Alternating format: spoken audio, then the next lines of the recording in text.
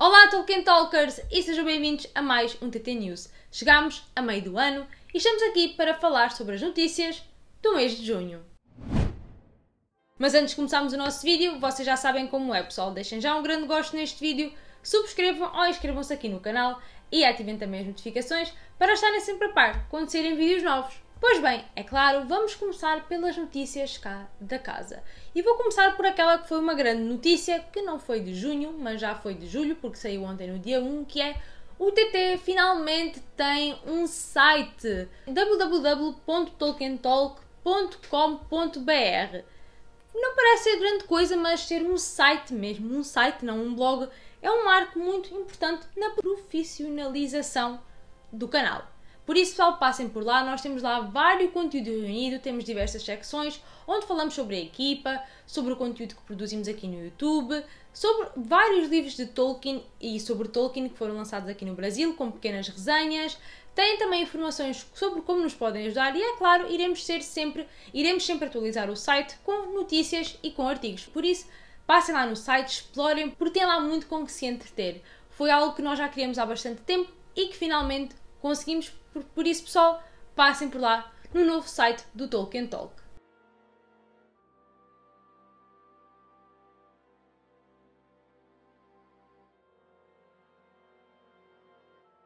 E também tivemos outra grande novidade neste mês, que foi o lançamento da nossa entrevista com Wendy Hammond e Christina Skoll. Nada mais, nada menos do que o casal de Tolkienistas mais conhecido neste meio. Foi uma grande entrevista, foi um uma, uma lição, foi uma aula aquela entrevista, eu amei e depois o casal também publicou na sua, no seu blog, uh, fez lá referência à entrevista que, que fizeram connosco, por isso é um orgulho muito grande e se não viram passem também por lá nesta grande entrevista do TT. É uma honra poder fazer parte destas entrevistas. Depois, o Sérgio participou em mais um episódio de Desbravando no canal do Fórum Conan, um canal onde se fala basicamente sobre a vida e obra de Robert E. Howard, mas também de outros elementos da cultura pop. Eles têm esta série Desbravando, onde fazem uma análise, digamos assim, a vários filmes. No caso, foi feita a análise do filme Solomon Kane, um filme de 2009, Solomon Kane, o Caçador de Demónios, e tem como diretora M.G. Bassett e tem o ator James Purefoy como o próprio protagonista Solomon Kane. E depois, eu e o Sérgio participámos também num podcast no podcast Chatando. Chatando. Nesse podcast, nós falamos sobre a influência do, do, universo de Tolkien nas nossas vidas, aquilo que gostamos mais na sua obra e também como é fazer parte, como é gerir um canal do YouTube onde falamos basicamente sobre Tolkien. Por isso, pessoal, passem também por lá, passem, passem em todo o lado. Vocês já sabem, os links todos estão aqui embaixo na caixa de descrição. Neste mês tivemos duas lives aqui no canal e vocês perguntam, duas lives? Sim, sim, tivemos duas lives. Uma delas foi sobre aquela que foi a grande, a maior novidade deste mês, que foi a revelação de que iremos ter um filme de animação em 2D, filme anime, produzido pela New Line Cinema e pela Warner Brothers Animation, que será um filme chamado The Lord of the Rings: The War of the Rohirrim. Eu não irei falar sobre este filme aqui, porque já lancei um vídeo neste mês específico com informações apenas sobre o filme. Eu reuni o máximo de informações possíveis quem irá dirigir o filme, o que irá abordar, tudo e mais alguma coisa. Depois de termos gravado esse CT News, fizemos também uma live onde falámos, lá está, sobre o filme, sobre o que irá abordar, o que poderá abordar, com a participação também de Ronald Kirmes. E depois, agora na última sexta-feira, tivemos uma live, mas uma live exclusiva para membros. E vocês perguntam, uma live exclusiva para membros? Como assim? Então, nós finalmente temos a membership do TT aqui no YouTube.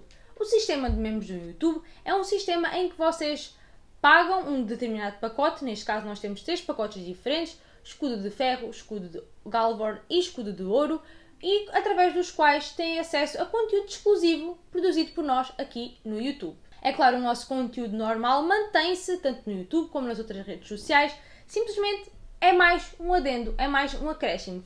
Consoante o pacote que vocês escolherem, têm direito a diversos conteúdo uh, exclusivo.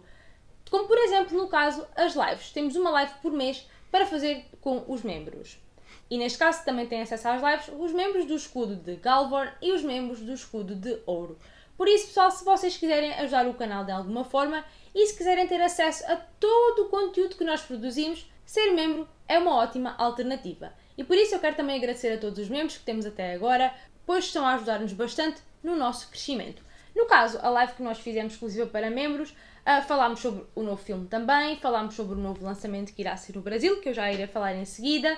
Tivemos também como convidada especial a Paula do Gais, onde falámos sobre o regresso do TT Kids, pois a Paula está agora a contar uh, uma nova história, O Ferreiro do Bosque Maior. E tivemos também a participação de Ronald Kirmes, e é claro, nestas lives são sempre reveladas alguns spoilers. Entretanto, saiu também uma entrevista para o Collider de Benjamin Walker, um dos atores que está a trabalhar para a série do Senhor dos Anéis da Amazon. Ele, é claro, indica que não pode revelar segredos, mas falou sobre a questão monetária, a questão do dinheiro, do budget que está a ser investido na série, pois é algo que tem vindo a ser muito falado. E ele diz que há muito a dizer sobre dinheiro e que faz uma comparação que é quando tu te apaixonas por alguém e, por exemplo, queres dar um anel, tens de tentar para dar o melhor, para demonstrar que realmente estás comprometido, que estás empenhado. Falando também sobre o casting e como é que ele entrou para a série, ele disse que esteve meses sem saber nada, até que um dia G.D. Payne, um dos produtores executivos da série, entrou em contato com ele quando a sua mulher estava a ter um bebê no hospital e disse que ele poderia então fazer parte e falou-lhe das condições e tudo mais. E sentindo esse comprometimento de G.D. Payne ligar-lhe quando a mulher estava a ter um filho, uh, sentiu que foi o impulso necessário para ele dizer que sim, que queria entrar para a série. Em relação ao spoiler, está de acordo com o facto de não se revelar nada, porque ele diz que quando nós realmente virmos a série, vamos ficar contentes por realmente não termos visto mesmo nada. Em relação a lançamentos e novidades de livros este mês, tivemos no dia 2 de junho o lançamento da nova edição portuguesa das Duas Torres pela Planeta Editora. Tinha sido lançado em outubro a Irmandade do Anel e agora temos finalmente o segundo volume. E eu agora na quarta-feira passada já gravei a resenha deste livro, por isso pessoal, passam por lá. Foi também revelado o novo lançamento de Tolkien aí do Brasil e que neste caso será sobre Tolkien, pois irá ser lançado, irá ser um lançamento inédito no Brasil, pois o livro nunca tinha sido publicado antes em português, que é The Annotated Hobbit, o Hobbit anotado, que é este livrão aqui. O The Annotated Hobbits é um livro de Douglas A. Anderson. Basicamente, o que Douglas A. Anderson faz é destrinchar cada detalhe do livro e explora cada influência de Tolkien, cada detalhe, importante influência do, da sua vida pessoal, como também de outras obras que Tolkien leu. Faz diversas comparações também com outras obras, com outros livros. E este livro está cheio de ilustrações fantásticas de várias edições uh, do Hobbit que foram lançadas em redor do mundo. Esta edição que eu tenho aqui é da Yuctin Mufflin, que é a editora americana, e o livro, só um segundo, a edição brasileira do livro irá ser aqui do tamanho do Senhor Boaventura e do Cartas do Pai Natal. No Cartas do Papai Noel irá ser desta altura, porque o Cartas é assim na vertical, o Senhor Boaventura é assim, na horizontal. O livro irá ser deste tamanho, por isso irá ter menos páginas, mas irá ser mais alto para os livros estarem todos padronizados assim, bonitinhos, na estante. Por isso, pessoal, este livro é um livro essencial para quem quer estudar o hobby. E estando o livro em pré-venda, nós tivemos um cupom exclusivo, mas que foi limitado do Submarino, onde vocês podiam adquirir o livro com 20% de desconto. Infelizmente, o cupom acabou. E nós também já temos aqui resenha sobre este livro no YouTube, por isso, pessoal, se quiserem saber mais do que trata o livro, passem lá nesse vídeo. Foi também revelada como irá ser a edição de luxo, digamos assim, do novo livro de que irá sair de Tolkien em setembro, do Nature of Middle-earth. Irá ser naquele formato típico de tecido e também com slipcase. E o The Nature of Middle-earth irá ser um livro que irá ser lançado em setembro, editado por Carl Hosterer e também irá ter um lançamento simultâneo no Brasil, neste caso a edição brasileira, que irá ser A Natureza da Terra-média.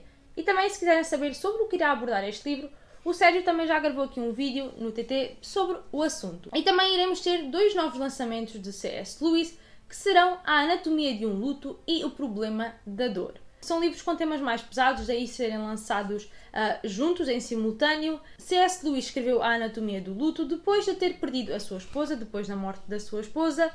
E O Problema da Dor é um livro que tem basicamente como ponto de partida se Deus é bom e todo-poderoso, porque é que permite que as suas criaturas sofram? Como disse, são livros com temas bem pesados, que têm bastante reflexão, mas que são também essenciais. Em relação a figurinhas deste mês e colecionáveis, a marca Build a Bear, que é uma famosa marca que vende ursinhos de peluche e vende ursinhos de peluche de tudo e mais alguma coisa, lançou três figuras de O Senhor dos Anéis.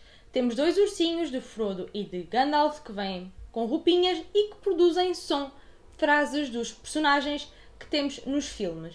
E também temos assim uma, um ursinho mais pequeno, um peluche mais pequeno, que é de Gollum.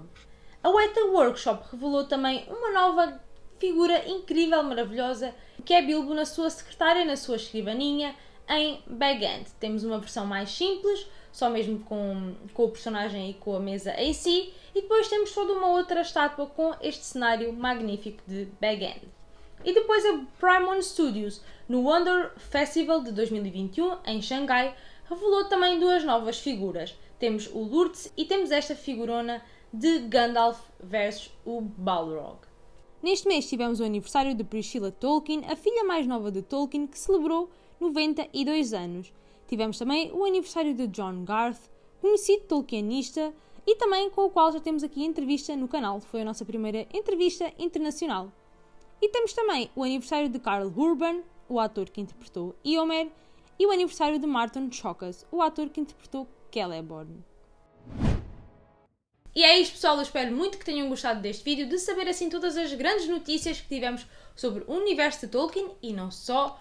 Por isso já sabem, deixem like, comentem em baixo o que acharam e subscrevam aqui o canal. Também nos podem ajudar, seguindo-nos pelas nossas redes sociais e também nos podem ajudar. E é claro, agora não é só seguir nossa, as nossas redes sociais, nem é seguir o blog, é seguir o nosso site. Por isso, passem também por lá. Também nos podem ajudar através do Submarino, comprando através da nossa página, onde temos lá selecionadas diversas dezenas de artigos para vocês, não apenas de Tolkien, mas também de outros autores de fantasia, livros de outros autores de fantasia. Também nos podem ajudar através da Amazon, comprando através dos nossos links, livros, outros artigos, ou subscrever também a Amazon Prime Video. Se nós não tivermos link para o produto que vocês quiserem, basta acederem à nossa página inicial da Amazon, a nossa home, e através dessa página vocês podem pesquisar o artigo que quiserem, compram e ele automaticamente já vem associado ao link do TT.